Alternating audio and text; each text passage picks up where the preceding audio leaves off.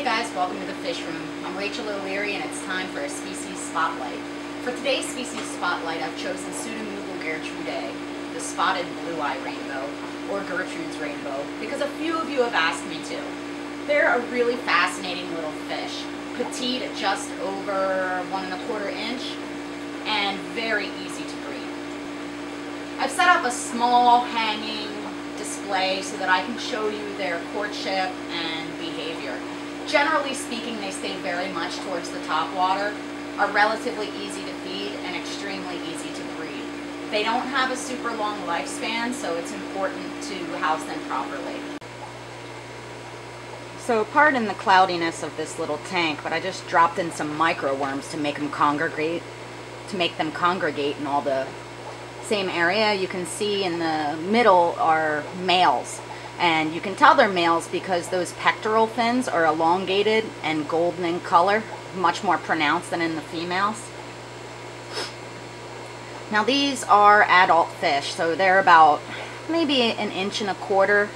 The females are a little bit more petite.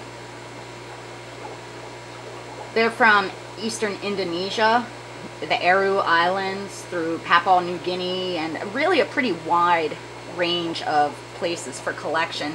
The vast majority of the ones that are found in the hobby are, are captive reared or farmed, so um,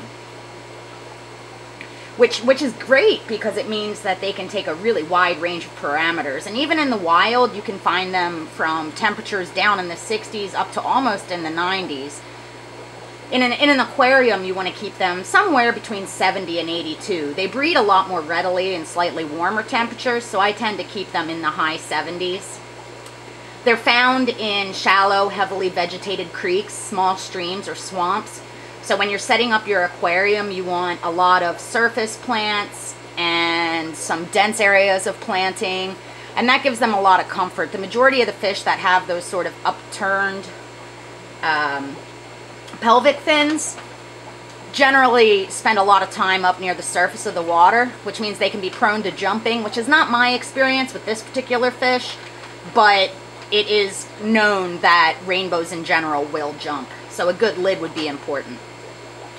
These guys are really ideal for a heavily planted tank with that blue lamp eye that glows and their subtle coloration, the beautiful spots, and their behavior. They just make a fantastic choice for a planted aquarium. I've bred these in the fish room and outside. They're really pretty easy. They generally spawn every morning. Um, in the wild, they're a seasonal spawner, but in the in an aquarium, they will spawn all year long. And the best way to do that is by either using moss or a spawning mop up near the surface or in the top third of the water. The males will chase the females and they'll drop their eggs right into the mop you need to check it every day for the eggs or they will eat them in their fry. Their fry are super tiny, like eyelashes, but relatively easy to raise. I generally use filter squeezings for the first few days and then transition them to micro worms by about day five. It takes about 10 days for the eggs to hatch. Uh, again, that'll depend on your temperature. If you're having a hard time getting the eggs to hatch, sometimes if you put them in a little jar and shake it up, it allows them to hatch. It's just a little tip for you. Now, as I mentioned in my intro, these guys have a relatively short lifespan, you know, only about 18 months. And part of the reason for that is because they do breed so readily. And again, you know, these guys can take a wide range of parameters from soft water to pretty darn hard water, from cool water to very warm. In an ideal world, you would want to keep them in neutral to slightly hard water in your aquarium. So you can see that's a female right there. She doesn't have as the visible pectorals. You can tell the males have those bright gold pectorals and a little bit more of a black edging to their other fins. But these guys just really are fantastic. In fact, I use them in the tank for the aquatic experience because I wanted activity up in that upper third this little display tank is so short that you can't really see that as well. But again, for their size, these are just a really engaging fish. They can easily be intimidated by larger fish, so it's best to keep them with other small species or in a species tank if you want to breed them.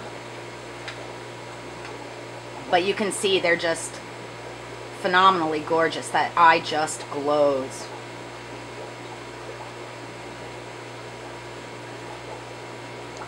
Thanks for watching. Hope you enjoyed the Species Spotlight. Make sure to stop by my Facebook page as well as my website, MsJinkzd.com, where you can find my current stock list, my upcoming speaking engagements, and information on all things nano. Make sure you subscribe as well so that you don't miss any of my Tuesday tips or my species spotlights. Thanks, guys.